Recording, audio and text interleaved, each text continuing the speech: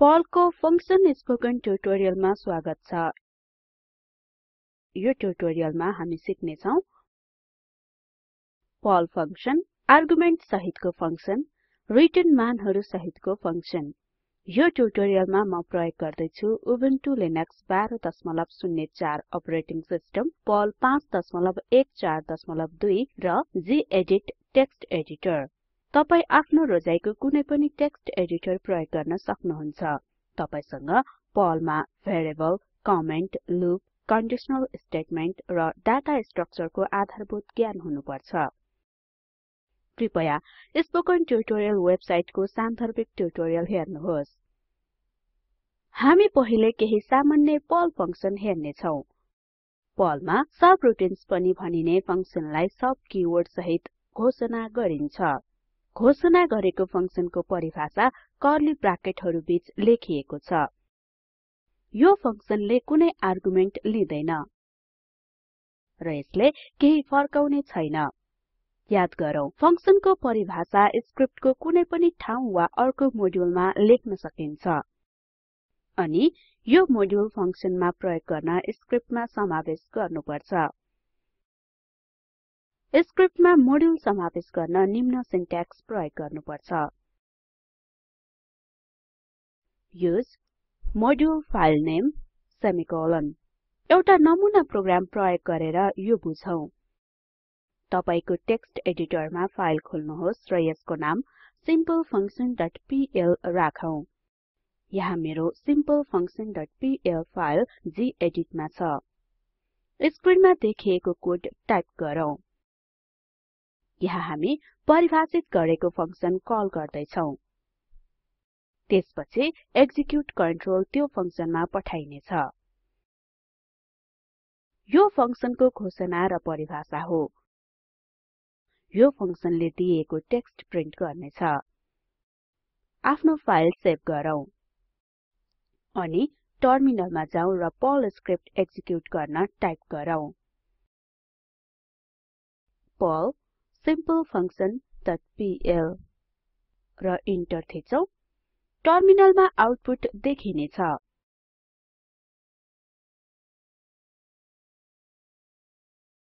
अब आर्गुमेन्ट सहितको फंक्सन हेरौं। यो फंक्सन एउटा नमुना प्रोग्राम प्रयोग गरेर बुझौं। टेक्स्ट एडिटरमा एउटा फाइल खोलौं र यसको नाम functionwithargs.pl राखौं। यहाँ गेदित मा मेरो फंक्शन विथ आर्क्स स्क्रिप्ट छ। स्क्रिनमा देखिएको निम्न कोड टाइप गरौँ।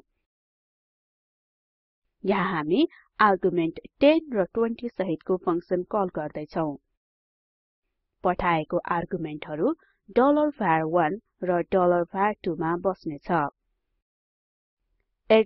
underscore विशेष पर्ल भेरिएबल हो। हामी आगामी ट्युटोरियलमा यसलाई विस्तृत रूपमा हेर्ने छौं यो फंक्सनले दुई भेरिएबलहरु जोड्ने काम गर्छ र नतिजा प्रिन्ट गर्छ। फाइल सेभ गरौँ। एउटा विशेष पर्ल एरे हो। यो एरे पठाएको आर्गुमेन्टहरु भण्डार गर्न प्रयोग गरिन्छ। त्यसैगरी हामी भेरिएबलमा पठाएको आर्गुमेन्टहरु यसरी पाउन सक्छौं। var1 स्पेस बराबर space shift at the rate underscore semicolon dollar var2 space बराबर space shift at the rate underscore semicolon shift पहिलो स्थानको एलिमेन्ट हटाउँछ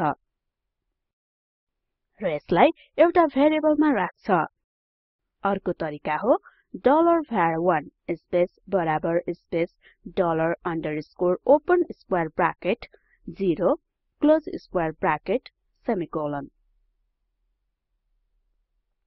$var2 space बराबर space dollar underscore open square bracket 1 close square bracket semicolon माथि उल्लेखित तरिका index प्रयोग गरी underscore array को एलिमेन्ट खोज्ने जस्तै छ। अब टर्मिनलमा जाउँ र स्क्रिप्ट एक्जिक्युट गर्न टाइप गरौँ। पर्ल फंक्शन विथ पीएल र एन्टर थिचौं। स्क्रिनमा आउटपुट देखिएको छ।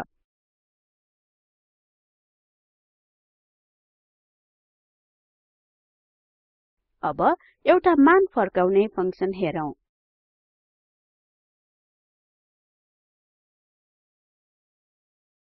सोही एउटा नमुना प्रोग्राम प्रयोग गरेर बुझौं। गेदित को funcwithsinglertrnval.pl मा जाउँ।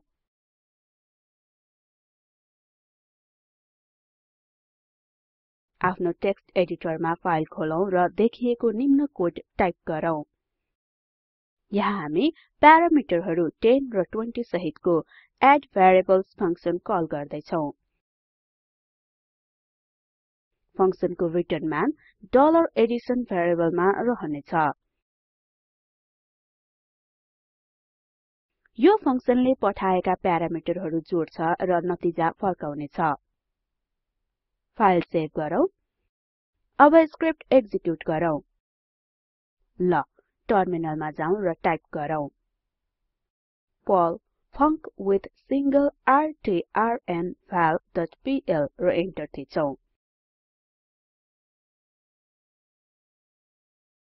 टर्मिनलमा यस्तो आउटपुट देखिन्छ।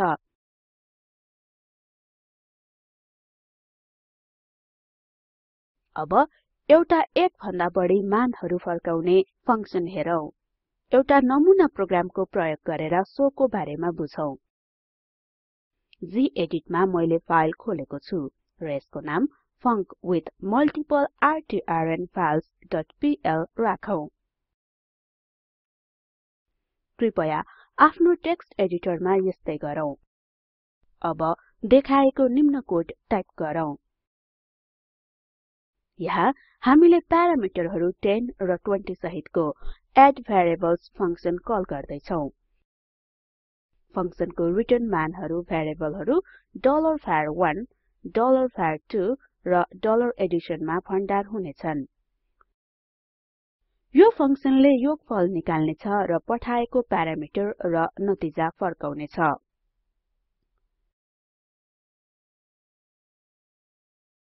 यो उदाहरणले हामी कसरी फंक्शनबाट एरे फर्काउन सक्छौं देखाउँछ।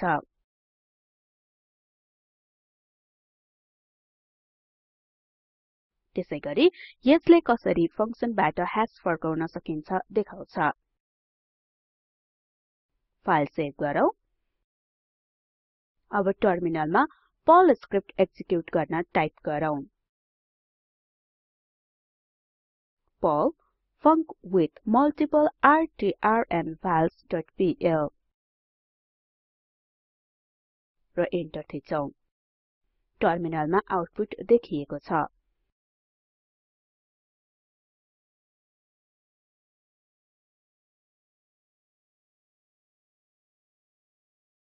पर्लमा विभिन्न इनबिल्ट फंक्शनहरु उपलब्ध छन्।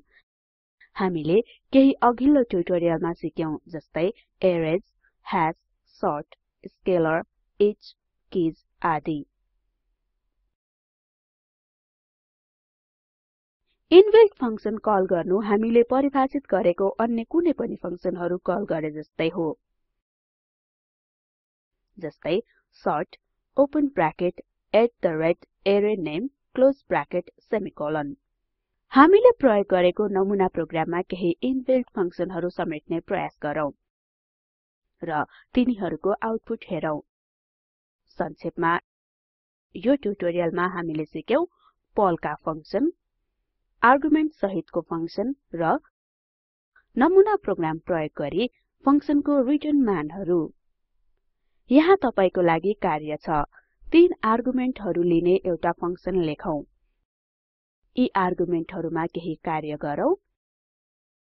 आर्गुमेन्टहरुमा गरेको कार्यको परिणाम फर्काउनुहोस् र सो प्रिन्ट गरौँ।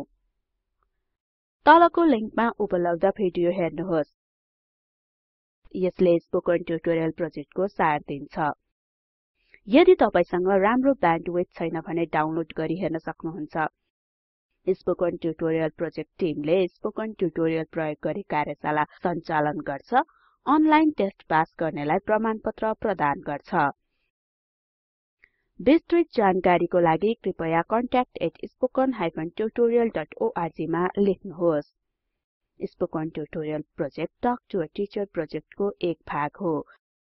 यसलाई national mission on education through ICT MHRD Bharat सरकारको सहयोग रहेको छ। यो मिसन सम्बन्धी थप जानकारी तलको लिंकमा उपलब्ध छ। Spoken tutorialorg इन्ट्रो आशा छ तपाईलाई यो पर्ल ट्युटोरियल उपयोगी भयो। म मन्दिरा बिदा हुदैछु। सहभागिताको लागि धन्यवाद। नमस्कार।